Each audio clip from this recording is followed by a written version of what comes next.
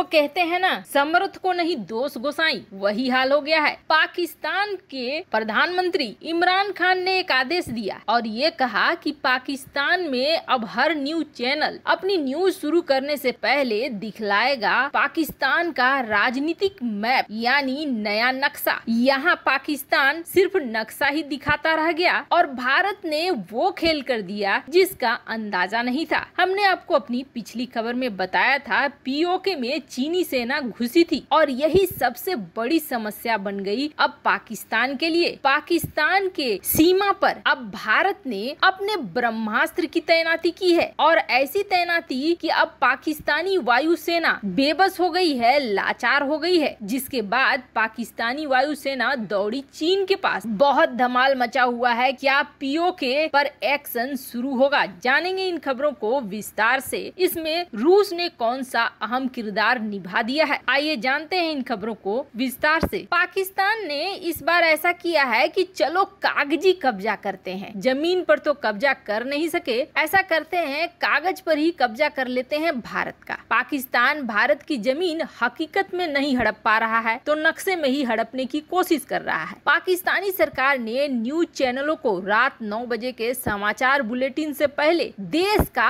आधिकारिक नक्शा दिखाने का आदेश दिया है। मतलब मतलब कि नया नक्शा जिसके मुताबिक गुजरात का, जूनागढ़, जम्मू कश्मीर और लद्दाख पाकिस्तान का हिस्सा बताया गया है। और ये पाकिस्तान की जो इलेक्ट्रॉनिक मीडिया रेगुलेटरी अथॉरिटी है, उसने आदेश जारी किया है कि कम से कम दो सेकंड के लिए नया नक्शा दिखाना ज़रूरी होगा। ये आदेश सरकारी और प्राइवेट दोनों चैनलों पर लागू होगा, दोनों को ही दिखाना होगा। ये आप देख सकते हैं जो पाकिस्तान की मीडिया रेगुलेटरी अथॉरिटी ने जारी किया है पत्र को। इसके अनुसार ये सारा कुछ करना होगा और जिसने नहीं किया, उसके खिलाफ कठोर कार्रवाई की जाएगी। प्रधानमंत्री इमरान खान ने पिछले साल अगस्त में कैबिनेट की मीटिंग की थी और पहली बार जम्मू कश्मीर क्षेत्र को भी अपना बताकर एक नया राजनीतिक नक्शा बना लिया। इमरान खान ने कहा था कि नए नक्शे को सभी राजनीतिक दलों और पाकिस्तान के लोगों का समर्थन है। अब ये भी पाकिस्तान कर रहा है कि नए नक्शे में दावा किए गए भारत के जम्मू और कश्मीर और गुजरात के जूनागढ़ को पूरा इलाका पाकिस्तान का बताया है। अब ये पढ़ाया भी जाने लगा है। उल्टा, पाकिस्तान ने ये दिखाने की कोशिश की कि भारत ने कब्जे में रख लिया है। अब इसका इस्तेमाल देश के स्कूली पाठ्यक्रम में किया जाएगा कि भारत ने कब्जे में रख लिया है, जैसे कि उल्टा चोर कोतवाल को डांटे। पर ये सारा कुछ कागज़ी ही रह जाएगा। भारत ने इसका भी इंतज़ाम कर दिया है। वो भी तगड़े वाला। और इसमें रूस ने बहुत बड़ी भूमिका निभा दी है। आपको याद होगा, हाल ही में पीओके का एरिया बड़ा चर्चा में आया था। और ये चर्चा में इसलिए आया था क्योंकि यहाँ चीनी सैनिक घुस गए थे। ये चीनी सैनिक पाकिस्तान की मदद करने के लिए आए थे कि पीओके की एरिया में पाकिस्तान गाँव बसा सके और भारत के लिए समस्याएँ खड़ी कर सके।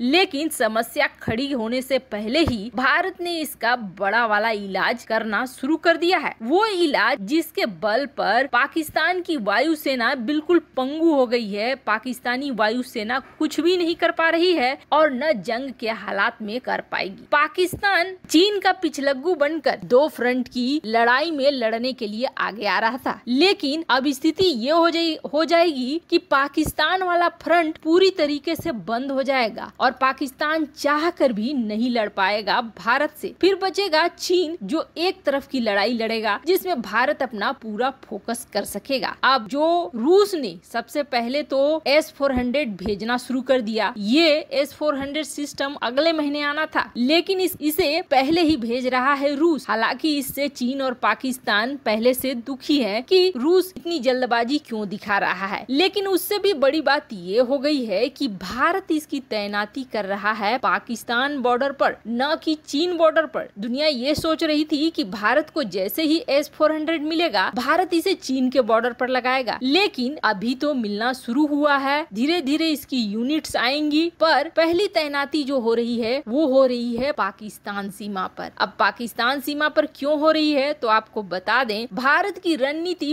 बहुत पक्की वाली है। और इस रणनीति के तहत भारत ये चाह रहा है कि पाकिस्तानी वायुसेना को यहाँ पर पंगु बनाया जाए। अब एस फोर सिस्टम होने की वजह से पाकिस्तानी वायुसेना बिल्कुल भी कोशिश नहीं करेगी कि भारतीय वायुसेना में घुसे। और एस फोर और राफेल राफेल का कॉम्बिनेशन एक ऐसा कॉम्बिनेशन बन गया है जिसके बल पर पाकिस्तान को तबाह करना बेहद आसान हो जाएगा। तो एक तरफ़ पाकिस्तान ठंडा पड़ जाएगा, पाकिस्तान भारतीय स्पेस में घुसने की कोशिश तो बिल्कुल नहीं करेगा। जैसे ही पाकिस्तान को ये चीज़ लगी कि भारत ऐसा कर रहा है, भारत की सीमा पर अब हमारे फाइटर जेट्स नहीं घुस पाएँगे तो फिर ये रास्ता तो क्लियर हो गया भारत के लिए। पर हम कैसे बचेंगे? भारत अपने राफेल को पाकिस्तान के अंदर भेज देगा और पाकिस्तान कुछ नहीं कर पाएगा। यहाँ तबाही मचाकर राफेल चला जाएगा, जिसके बाद पाकिस्तान दौड़ा अपने आका चीन के पास। और चीन ने भी आओ देखा न ताओ और पाकिस्तान को थमा दिया